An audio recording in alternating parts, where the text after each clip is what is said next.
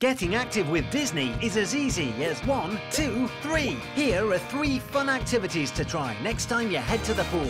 One, Dory's Bubble Seesaw. Face your partner holding hands, take it in turns to go underwater and blow bubbles. Two, the Turtle Drift. Catch the drift and practice your underwater skills by swimming through the hoop like Crush and Squirt. Three, the Super Splash. Stand with your toes just over the edge. Now jump in. So what are you waiting for? Let's go!